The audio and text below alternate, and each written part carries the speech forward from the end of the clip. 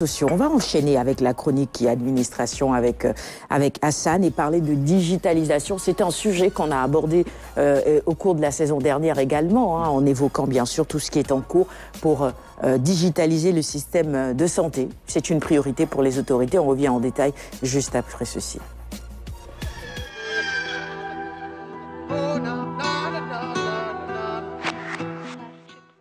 Ouais, on a changé de jingle et puis la charte graphique et tout ça hein, pour la nouvelle saison. On est gâtés aujourd'hui. On s'est inspiré de, tes couleurs. on dirait bien. Hein. Les couleurs que C'est l'occasion de dire merci et félicitations à Tchaoulaï, hein, hein. C'est vrai, c'est lui qui a fait tout. A, voilà, manager tout ce travail-là magnifique. Euh, des, des, infographistes de la RTS. C'est vrai. Très bel habillage. Très bel habillage mm. pour cette nouvelle saison. Oui. On espère que ça nous portera chance, bien évidemment. Ce sera le cas, Inch'Allah. Allez, on reparle justement de la digitalisation du système hospitalier. Euh, ça a déjà démarré. Et bien d'ailleurs, l'exemple ce matin de l'hôpital général Idriss Apouy, plus connu, enfin, sous le nom de... De deux noms différents. Deux noms différents, CTO avant. CTO avant. CTO. Ensuite, voilà, Ogui. Voilà. Et désormais, c'est Hôpital Général Idriss Pouy de Grand C'est ça. Qui est très connu des Dakarois et donc qui est un exemple, qui est en tout cas donné un exemple par Sénégal Numérique SA dans ce qu'il peut faire de mieux pour accompagner le système hospitalier euh, national. Parce qu'après l'éducation, c'est vraiment la santé qui, attire le plus les, les investissements et les actions de Sénégal Numérique SA.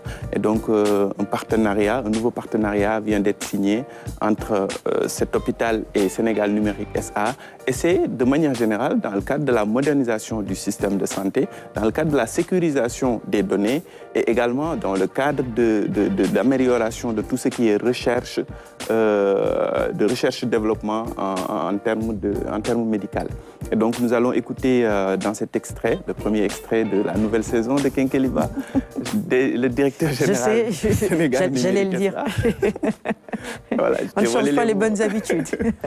Alors, euh, le directeur général de Sénégal Numérique SA, Cheikh Bahoum, le chef de projet, le général Mohamed Mbeng, et également le directeur général de l'hôpital euh, euh, M. Outal. Je vous propose de les écouter.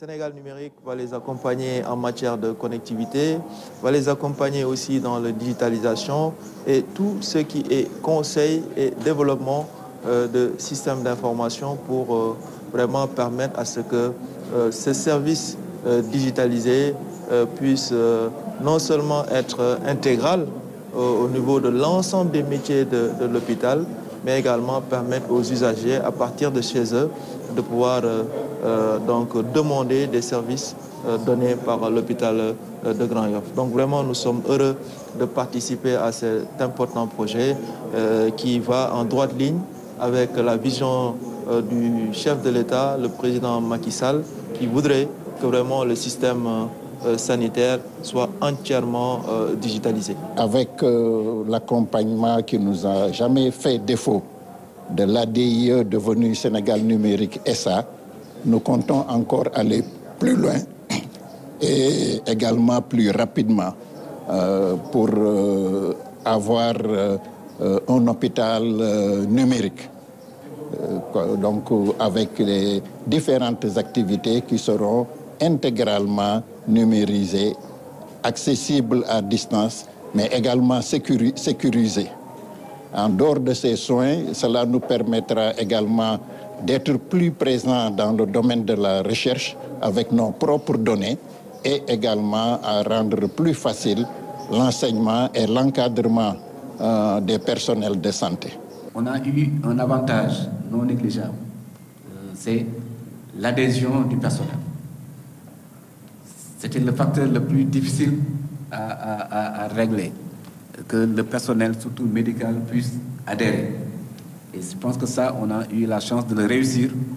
Aujourd'hui, tous les médecins de l'hôpital utilisent cette plateforme, consultent à partir de, cette plateforme. Les, rendez-vous sont, sont, pris par les secrétaires sur la plateforme. Tous les dossiers aujourd'hui médicaux qui sont créés sont créés directement sur la plateforme. Et les anciens dossiers, on a un programme de les numériser et de les reverser dans, la plateforme pour que, dans un horizon de temps euh, proche, on aura tous les dossiers, que ce soit anciens que nouveaux, tout soit digitalisée et dans le système. Alors je le disais, hein, c'est véritablement une priorité pour les autorités. Le chef de l'État l'a dit, tout ce qui touche à la digitalisation du système sanitaire est aujourd'hui une priorité. Comment est-ce que ce partenariat entre Sénégal numérique et euh, l'hôpital général Idrissa Pouy de Grand Yoff va se traduire concrètement? Comment est-ce que vous allez euh, améliorer tout simplement les soins de santé?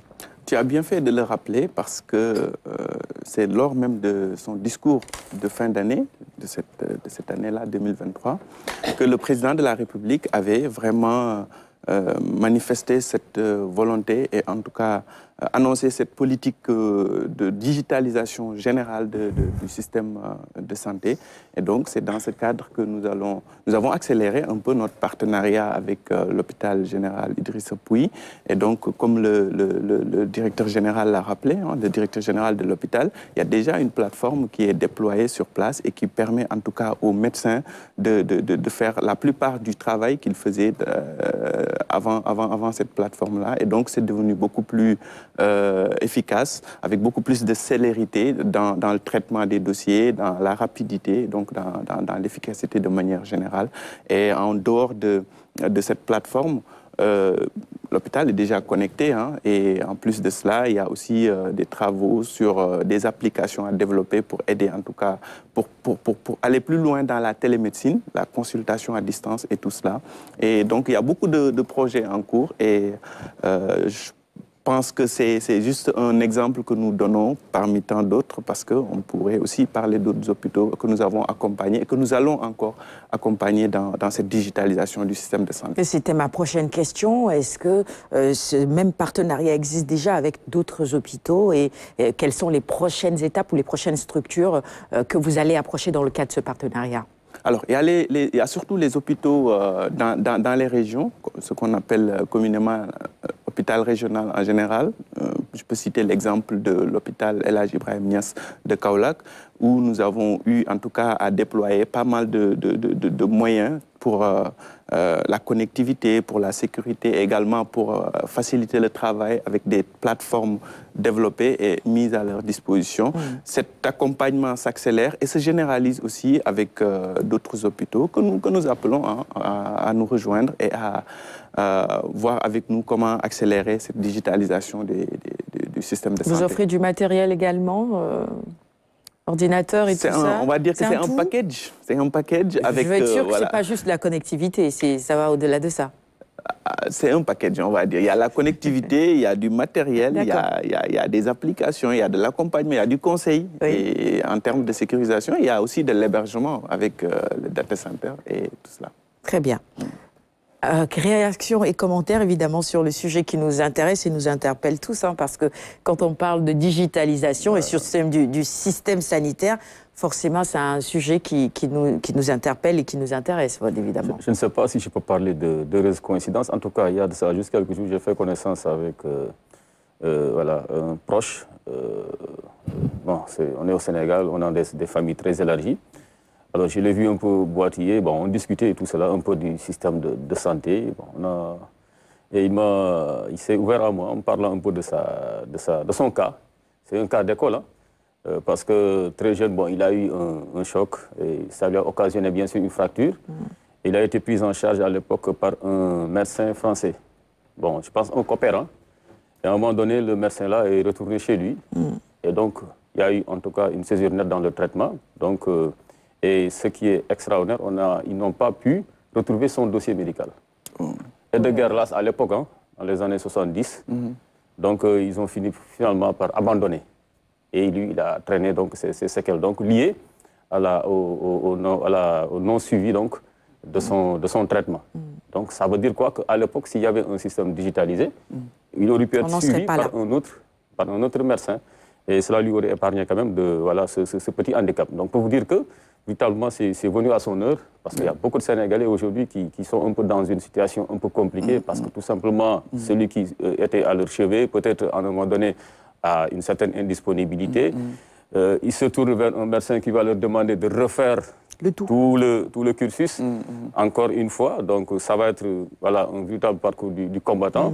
Et même ceux-là qui sont donc, euh, traités à distance hein, et qui sont un peu à l'intérieur du pays. Ils sont obligés de faire quand même la navette Dakar et, leur, zone d'origine. C'est pas évident. C'est pas évident avec tout ce que cela occasionne comme, comme dépenses superflues et tout.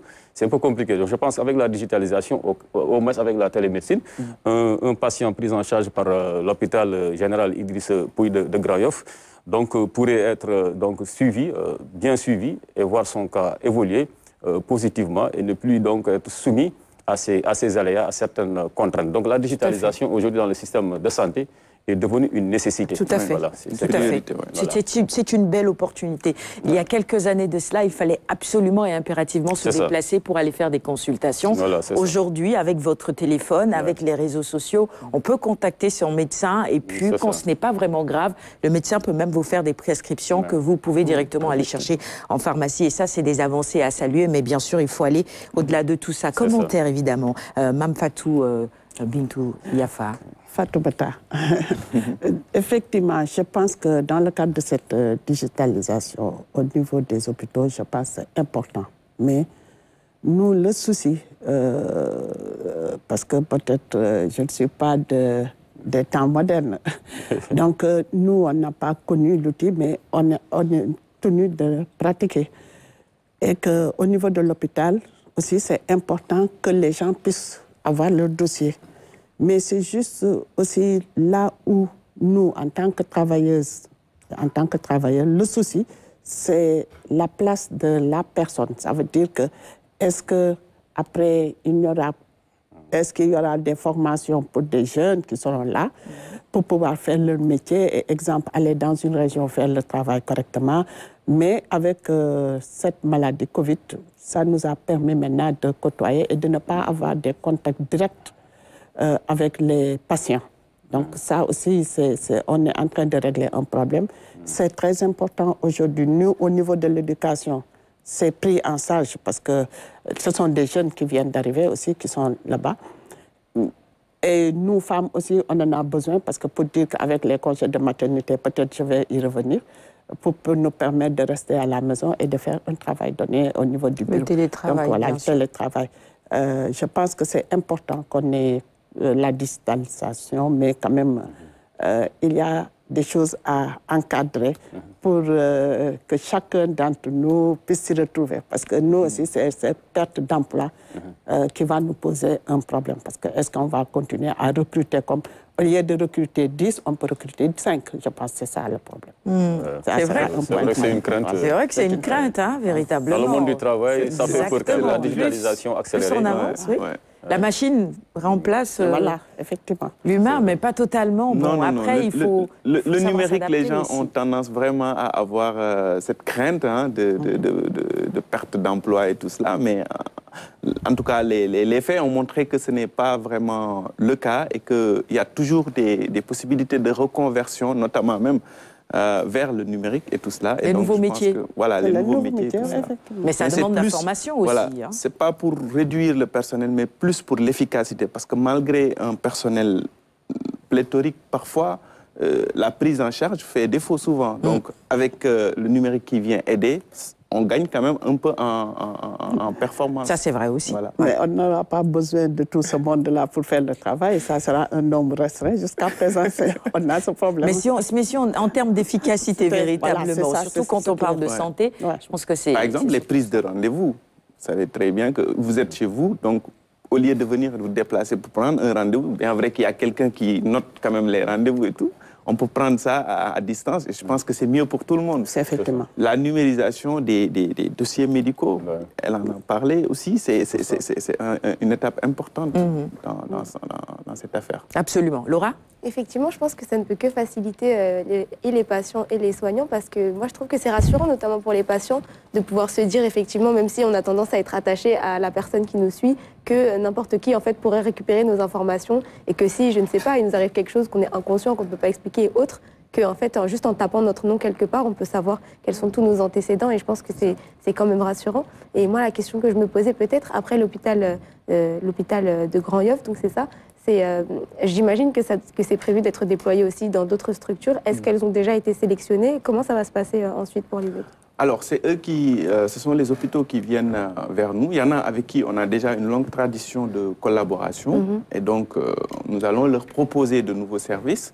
Mais il y en a d'autres aussi qu'on attend et qui devraient incessamment nous saisir. Et il y en a même qui nous, qui nous saisissent déjà. Et donc, euh, je ne peux pas vous dire exactement quel est l'hôpital, la, la prochaine étape. Mhm. Euh, mais euh, en tout cas, il y a beaucoup d'hôpitaux, euh, comme on dit, hein, dans le pipe et que nous allons voir. euh, en tout Il y a, je il vous y a en même au niveau du ministère de la Santé, une, je pense qu'il y a une division qui s'occupe euh, carrément de, de la, de la santé euh, digitale, si je ne me trompe. Ouais, si, Oui, c'est- Effectivement, avec le docteur. Khaliloudia, on avait reçu a. sur le plateau. Voilà, c'est ça. E-santé, c'est avant ça la Covid. C'est ça, bien avant la, la Voilà, Covid, avec la. Covid, ça la a Covid permis démontré cas, la pertinence de cette Voilà, de nous Absolument. rapprocher davant- davantage avec euh, donc, cette entité-là. Et le ministère en général, on collabore sur pas mal de dossiers. Vous vous souvenez, quand il fallait donner euh, les informations liées au Covid chaque matin et tout cela, il y avait une plateforme et tout qu'on avait développée euh, très rapidement et tout cela. Absolument. Donc voilà, il y, a- y y cette collaboration avec le ministère de manière générale, mais aussi avec les entités euh, régionales ou bien même particulières euh, ici au niveau de Dakar. Et donc cette collaboration se fait euh, de cette manière-là. Bon, on a tiré en longueur sur ta chronique, mais quand on parle de digitalisation de la santé, il y a un aspect sur lequel il est important d'insister aussi. On va peut-être terminer avec ça, c'est la protection des données personnelles. Justement, Parce qu'il y a eu des scandales autour de ces dossiers digitalisés où certains ont, ont partagé ces données-là alors que c'est confidentiel. c'est confidentiel. Le fameux Justement, secret médical. C'est pour ça que j'ai parlé de, de, de package tout à l'heure, parce qu'avec tout cela, il y a, l'enjeu des données. Et donc, euh, parce que nous, avons quand même une certaine souveraineté en, en termes, en matière de numérique, surtout depuis l'inauguration du data center de Diamniadio, qui le ministère de la Santé fait d'ailleurs partie des, des meilleurs élèves en termes de, d'hébergement et de stockage de données euh, en national, c'est-à-dire au niveau des data centers de Sénégal Numérique SA. Merci mon cher Hassan. Je laisse la possibilité bien sûr à nos, à nos téléspectateurs, notamment internautes, de continuer à poser des questions ou à réagir tout simplement sur euh, le sujet abordé par Hassan dans sa chronique ce matin. On a parlé de digitalisation du système hospitalier. Qu'en pensez-vous? Cela est déjà en cours et en marche. Y a-t-il des contraintes à votre avis? Sur quels aspects devrait-on insister davantage? On attend bien sûr vos commentaires et réactions.